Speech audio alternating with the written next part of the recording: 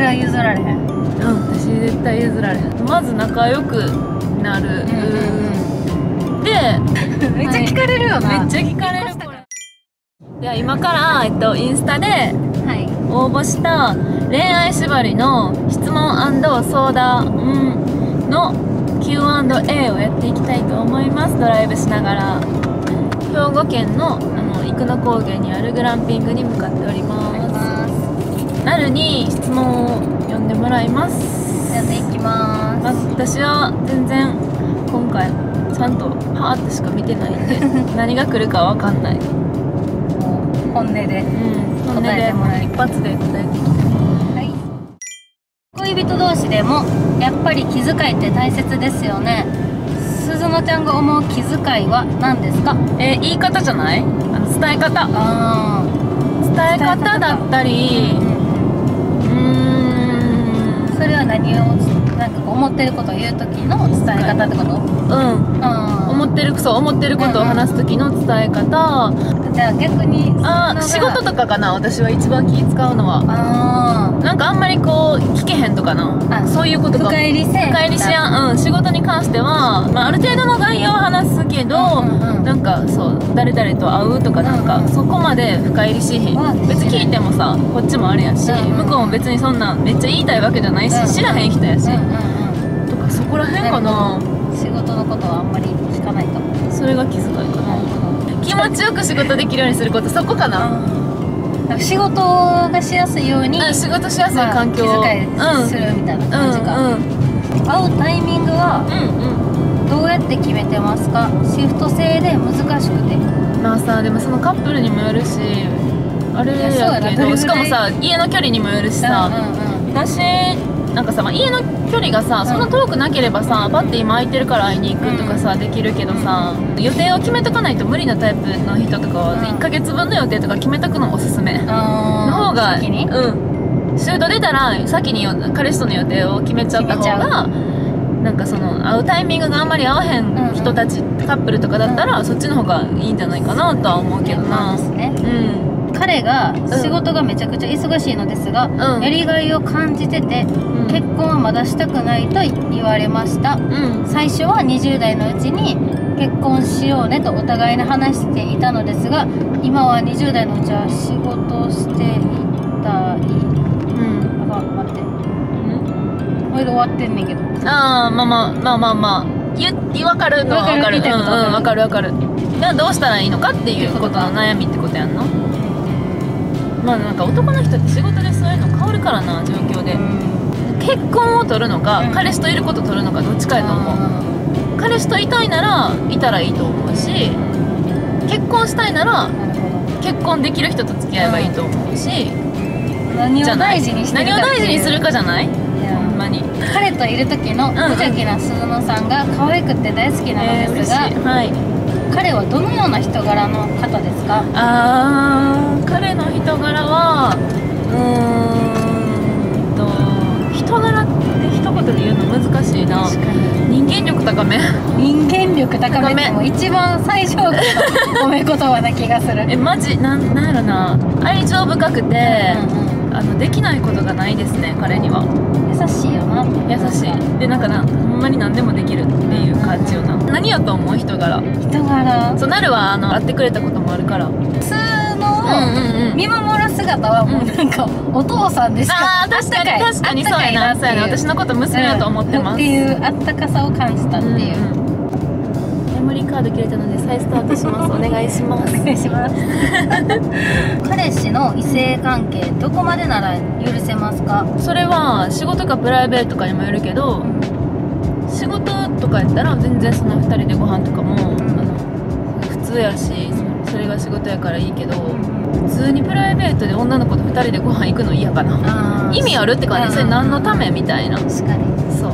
かな。それから嫌も。うじゃあご飯から。NG うん。ご飯 NG で。嫌じゃない？何のためにそれ言ってるのか分からへんから。2人とかなおさらなうんそうそうそうそう。あーそうみんなでさそのな、う仲いいグループとかで行くのは全然いいねんけど、友達つなげたいとかな,、うんうん。なんか理由が別であってとかだったらまだまあいいけど、心配あんま嫉妬しないかもしれへん。心配させてくるような人と付き合ったことがない。なんか意外と嫉妬しいひんよな、うん。まあそれは向こうのおかげやけど。うん。確かに。な彼とうん。何をしてる時にうん。一番幸せ感じますか、一緒に美味しいうん。うん夜ご飯食べてお酒飲みながらお話ししてる時が一番幸せ、素晴らしい。な何気ない会話？うん、何気ない会話やな。ほんまに。その会ったこととか話したりさ、幸せやな。そうそれがそれ聞いてっちも幸せになったわ今。嬉しい。お話って？デート前のうん。スペシャルケアは何ですか？毎日スペシャルケアやもんな、うん。特別することないかもしれへん。普段から意識が。毎日がスペシャルケアです。ちゃんと使ってもらうこれは。もう名言。毎日がスペシャルケアです。だってデート前だけやっても普段手抜いてたらデートの日多分無理やもん。間に合わん。間に合わん間に合わん。職場にうん。気になる人がいます、うんうん。どんな風にアプローチしたらいいですかね、え。ー、いいね。いいね。めっちゃ楽しい仕事が。まず仲良くなる、うんうんでみんなでご飯今度行きましょうみたいな感じから入るかな。その2人では急にさちょっとなんかい変に意識しちゃうし。うんそうやなみんなで行きましょう。みんなでな。んか、うん、行きましょうってなって。先輩か同期かにももよる。まあそうやな、いやそうやな。どういう関係性？先輩やったらなんかちょっと悩み相談あるんですけどとか言ってなん。か普通に仕事の話聞いてくださいよ確かに確かに。言いやすいけど、うんうん。同期やったらどうなん？でも同期ってまずもともと仲いいやんか。ああみんなだ。から久々同期でご飯行こうようんうんぐらいでいい気がする。うん。まあご飯から誘ってみるうん誘ってみるかな。うん。それぐらいしかないよな、うんうん。ナチュラルな感じで行く方がいいよね。結婚相手にうん譲れないところかっこうんうん。優しいとかちゃんと仕事するとかの建前抜きでおう。それ以外ってこと？ほんほんで結婚相手として譲れないところって何？私のことをめちゃくちゃ好きでいてくれるかどうか。ああそれは譲られへん。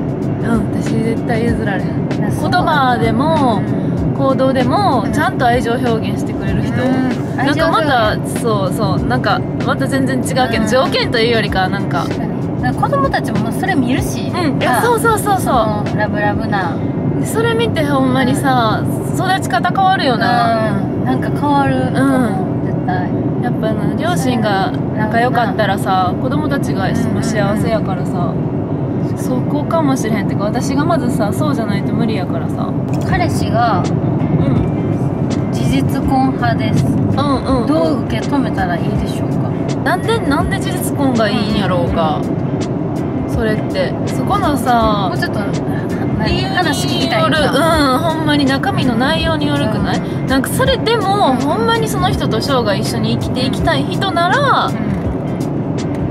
形。にとらわれずいたらいいと思うしほんまにもうそのやっぱ籍を入れるっていうことを望むんであればあ結婚できる相手それもさっきこそ言ったようにを探すべきやと思うけど別にこの今の世の中ささ私も結婚したいけどさ、うん。まあ、籍を入れることが全てではないからさ、うん。誰と生きていくかの方が大切やから、まあ、どこに重きを置くかやけどなんかその内容によるよな、うん。なんで事実婚がいいのかっていうところやんな、うんほんまに。ほんまにそこやな。ここもうちょっと深掘り。うん。話し合う。うんうんうん。めっちゃ話し合うかもとりあえず、うん。えなんでなんやっていう。でそれでなんか理解できればそうやしって感じかな、婚自体が別に悪いとかはないけどそうそうそうそういうこと。なんでなんかは知りたいよ、うんうん。長続きの秘訣はありますか、うーん。ほんまにでもそれこそ思いやり持ってお互い接することじゃないかな。方向性が一緒なのもあるかな未来に対する。めっちゃ来てる質問で、は同棲されてるんですか？うんしてないです。してないですめっちゃ聞かれるよな、めっちゃ聞かれる引っ越したこれからか？あそう、うん。引っ越したから同棲で引っ越したかって話聞かれるけど、ほんまにただ一人で引っ越しただけで同棲はしなくてまあ実は公表っていうかどこでも言ってなかったけど、まあ、一緒に住んで同棲してた時期も結構あって長く同棲してたけど仕事の関係都合上もあってうん。私も彼もあの一人で家に住んでる方が仕事がしやすいというか同棲がなんか問題やったわけでも何でもなくてめちゃくちゃそれはそれでよかったんやけどそれもあって別々で今は住んでるっていう感じです。なるほど特殊やな。めっちゃ特殊。珍しい。あんま聞かんよそうな珍しいけどどっちも楽しくてうんうん。うんどっちの良さも感じれたからうんうんうん結婚したらどっちみち一緒に住むしうんうんうん。なんか、まあ、逆に今ん。こうやって別々で住めてる期間があるのはすごい良かったなって思う。ほんまにあんま聞かないパターンやけど、うん。うん。そうそうそう。いいいいよ。そう。いい関係を。自分たちにとってはめっちゃそれが良かったな。うん東京出身の彼女と、うん関西出身の彼女あ彼氏でのうん。うん結婚どう思いますか？実家や文化が違うのかなと思い。えそれ東京出身とか出身地関係なく、うん。大阪出身でも実家や文化違うくない、んんん。それ関係ないですよと。関係ない。育ちとか、うんうん。そういうのはさ関係してくるけど、うん。その場所じゃないよな。蛙化に悩んでてうんうん鈴野さんは蛙化ありますか？いやマジでない。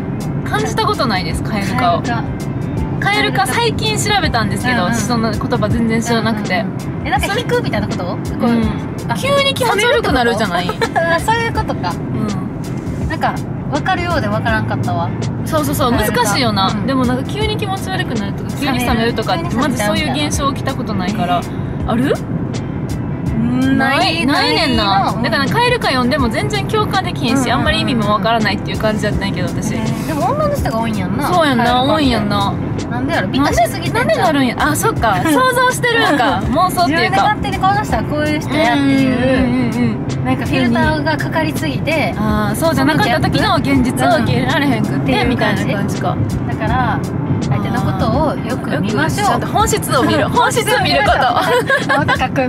友達を好きになったらどうしたらいい？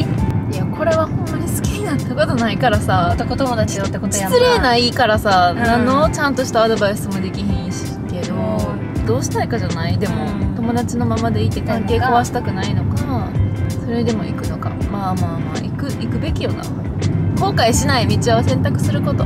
ですね。付き合うまでにうん。意識していることを知りたいですよってだからいい感じの人できてうんうんうんうん。その人と、まあお付き合いになるまでか、うん。意識してることうわ確かに気になるー一緒にいての心地よさじゃない？あ心地いいかどうか。ー楽しめてみたいな、うん好きなこととかが一緒かとか。フィーリングじゃない？フィーリングやな、うん。をその感じる。居心地の良さを感じるかどうか。相談です。はい彼の携帯でうんうん。見たくないものを見つけてしまった場合かっこアプリ。携帯見る時点でもあか ん